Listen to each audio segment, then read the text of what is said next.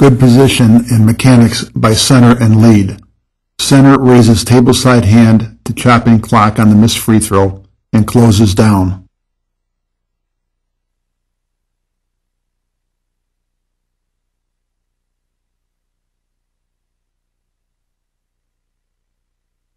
Good position by center and lead.